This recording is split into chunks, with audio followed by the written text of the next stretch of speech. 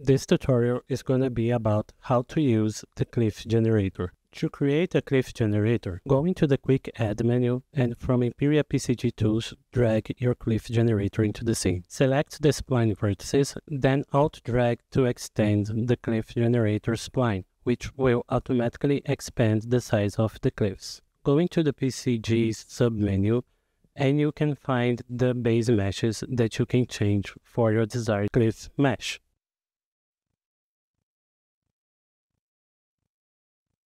On the PCG submenu, you can find the options to change the top mesh and side mesh that will be spawning on the cliffs. Also, in the same PCG submenu, you can change parameters for the slope, scale, and density for each type of foliage that you selected to be spawning on top of the cliffs.